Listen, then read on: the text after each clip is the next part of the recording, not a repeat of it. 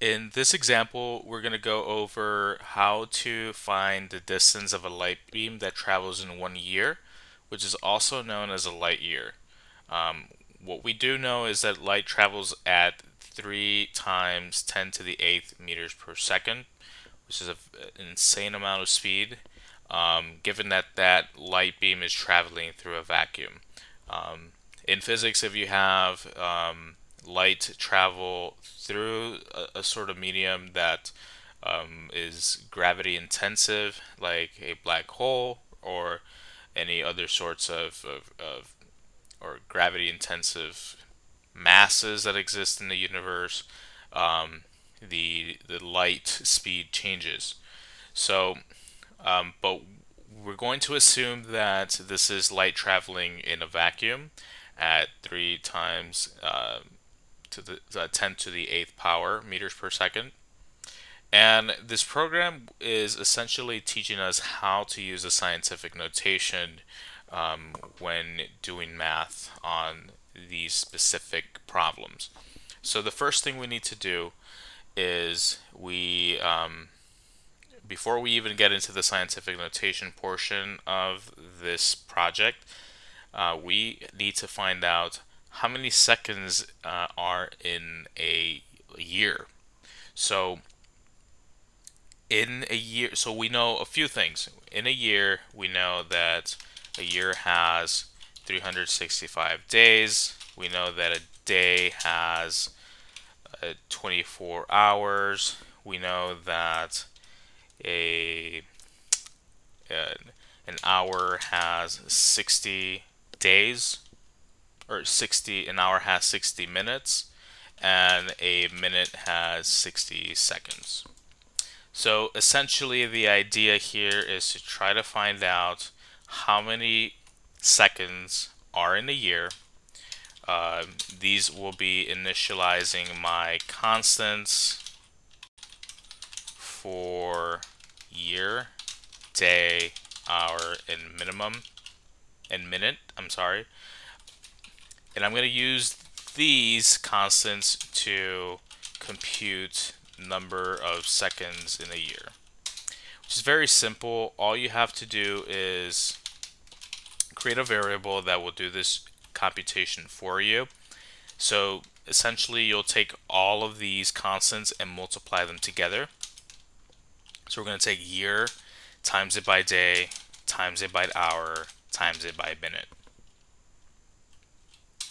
Good, so now we know what our total seconds per year is. Now, the next step is to try to create a variable of, uh, of a light that travels at that specific speed. So we can um, we can denote this as a like a light velocity. Um, so I'll have to add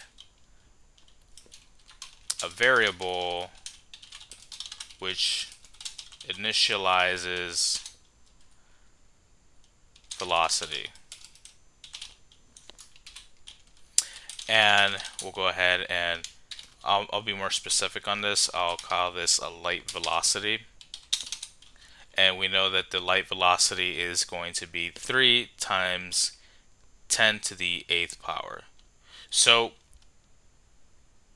really what you can do here is you can either write an enormously large number, which in this case would be eight zeros. So one, two, three, four, five, six, seven, eight. Um, which is not too bad because you're not doing the math. The computer is doing the math for you. But you'll have an insane amount of zeros if you want to work with numbers like 10 to the 30th, 10 to the 100th, and it just becomes a little harder to manage those um, those inputs, uh, those variables, those th that data. So instead, and like we do in real life, um, when we're writing things down, we will use scientific notation. And the way to write scientific notation is to include the beginning portion of the scientific notation, which in this case would be 3.0.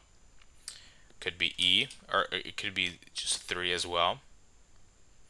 And then we'll add the E to denote that notation and then we'll have to raise it to a certain power, which in our case, light travels at 3 times 10 to the 8th power, so we'll write 8.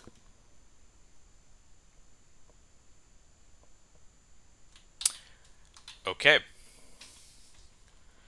Finally, the last computation that um, that I'm going to do here is I'm going to take the um, distance traveled um,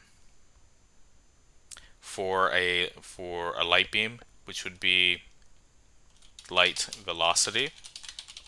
And I'm going to times it by the total seconds per year, and that should give us our light year. So I'm going to create a variable called light year and do just that light velocity times total secs per year. And then finally I'm going to output light year result. So this will be light year and then this will be in the form of just light year because light year is it, it's its own unit so once we have that number outputted we'll be able to see this as a number light years.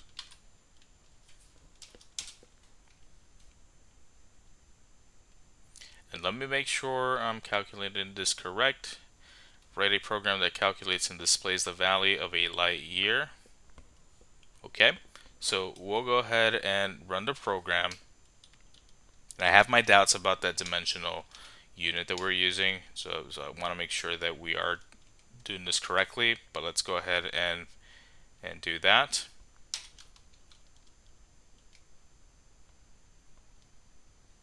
Okay. So this won't be in light years, this will actually be in meters per second. Or not not not seconds anymore, but it'll actually be in meters. And this is going to be our answer. So this will this will be our answer in terms of how many meters exist in a light year again light year is a distance it's not a time frame. It just means the total amount of time or a total amount of, of, of distance that's traveled during one year period. So this will be measured in meters. And you'll see this um, whenever you have this uh, when if you were to do a dimensional analysis of, of, of this formula here you'll notice that this is measured in meters per second and then this one is measured in seconds per year. So the seconds cancel and it gives you the uh, actual distance. Okay? So that is it for now.